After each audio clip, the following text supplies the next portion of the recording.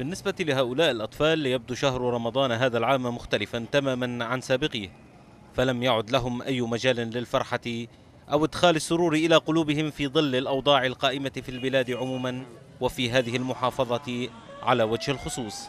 ففي ذمار يظل عشرات الأطفال يبحثون عما يسد جوعهم ويلبي احتياجات أسرهم. إما بالانخراط في الأعمال الحرة في الأسواق بالبحث عن القوت اليومي أو بالمساهمة في مساندة الأسر في إنجاز ولو الشيء البسيط من متعلقات الحياة اليومية.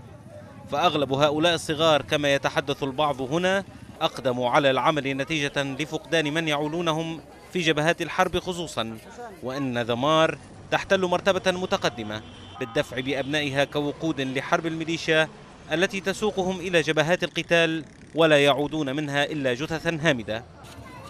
أبرز المهام التي يعمل عليها الأطفال في هذه المدينة هي البحث عن المياه ونقلها إلى المنازل فالحياة بالنسبة إليهم يجب أن تستمر بأي شكل من الأشكال وإن خاضوا معها عراكا على مختلف المستويات.